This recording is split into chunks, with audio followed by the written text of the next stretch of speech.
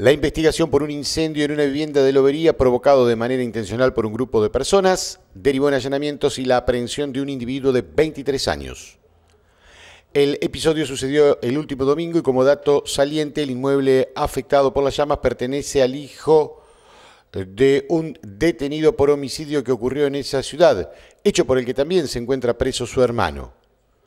El hecho sucedió el último domingo en un domicilio deshabitado de calle Maica al 800, como así también resultó afectada una camioneta que se encontraba en los fondos de la propiedad. La extinción de las llamas por parte de bomberos se produjo en medio de incidentes protagonizados por los autores del fuego, quienes en todo momento trataron de impedir la labor de estos arrojando piedras y otro tipo de elementos contundentes. El damnificado radicó la denuncia y luego la subdedí Loberense dio inicio a una investigación encomendada desde la ayudantía fiscal. Con los elementos reunidos, la justicia de garantías autorizó tres allanamientos que se concretaron en inmuebles de la vecina ciudad.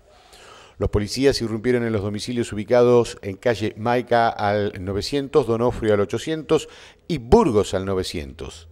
Se señaló que en la primera diligencia judicial el personal interviniente se encontró con varias personas en medio de una actitud hostil, al punto que arrojaron piedras que terminaron dañando el cristal de un móvil policial. La superioridad numérica de los policías terminó con la aprehensión de un joven de 23 años, siendo acusado de los delitos de atentado a la autoridad y daño agravado. Además, se dio cuenta de secuestros de interés para la continuidad de la causa y también de siete plantas y cogollos de marihuana.